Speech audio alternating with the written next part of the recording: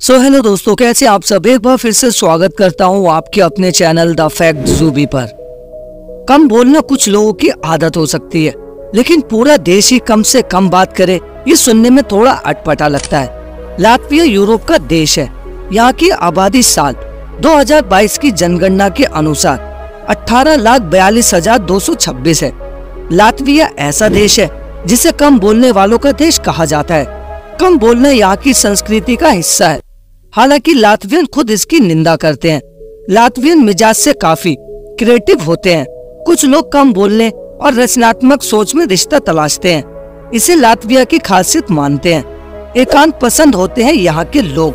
Latvia के लोग इतने खुद पसंद है, अपनी ही दुनिया में मगल रहने वाले क्यों हैं? इस पर एक रिसर्च की गई। पाया गया कि कम बोलने की आदत ज़्यादातर उन लोगों को है जो रचनात्मक कामों जैसे कला, संगीत या लिखने से काम से जुड़े हैं। लातविया के एक मनोवैज्ञानिक के मुताबिक क्रिएटिविटी लातविया के लोगों की पहचान के लिए ज़रूरी है। इसीलिए यहाँ के लोग कम बोलना पसंद करते हैं। उनका जहन हर वक्त नए ख्याल सोचता रहता है। दरअसल लातविया की सरकार ने शिक्षा और आर्थिक उन्नति के लिए जितनी योजनाएँ बनाई है, उसके लिए रचनात्मक सोच को प्राथमिकता दी गई है। यूरोपियन कमीशन की रिपोर्ट के मुताबिक, यूरोपियन यूनियन मार्केट में रचनात्मक काम करने वाले सबसे ज़्यादा लातविया के लोग हैं। लातविया के लोग न सिर्फ़ कम बोलते हैं, बल्कि एकांत पसंद होते हैं। एक दूसरे के मुताकिब होने पर किसी के चेहरे पे मुस्कुराहट तक नहीं बिरकती अजनबियों को तो देखकर तो बिल्कुल ही नहीं। लातविया के लोग मानते हैं कि कम बोलना सिर्फ़ इनकी कल्चर का ही हिस्सा नहीं, बल्कि स्वीडन और फिनलैंड के लोग तो। उनसे भी ज़्यादा एकांत पसंद है। यहाँ एक और बात पर ध्यान देने की ज़रूरत है।